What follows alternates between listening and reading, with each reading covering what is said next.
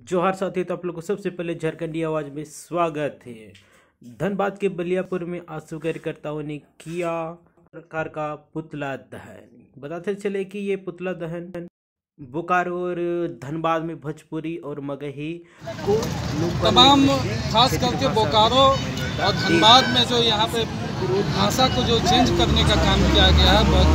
मगही अंगिया और भोजपुरी को क्षेत्रीय भाषा को जो दर्जा दिया गया है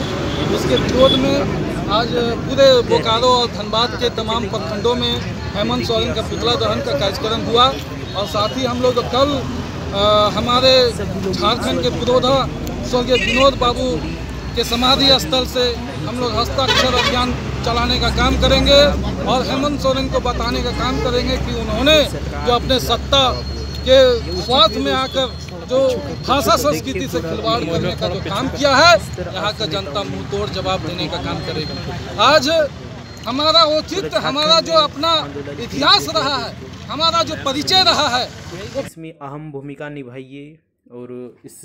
राइज माटे के लिए एकजुट होकर अपना हक अधिकार के लड़िए। यह जनसैलाब बहुत व्यापक मोड़ ले चुका है। देखिए आप लोग पूरा वीडियो अंत तक।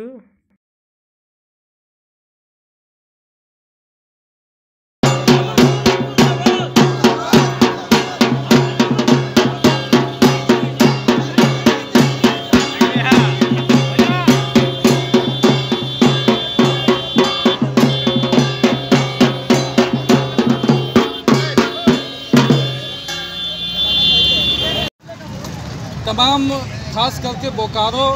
और धनबाद में जो यहाँ पे भाषा को जो चेंज करने का काम किया गया है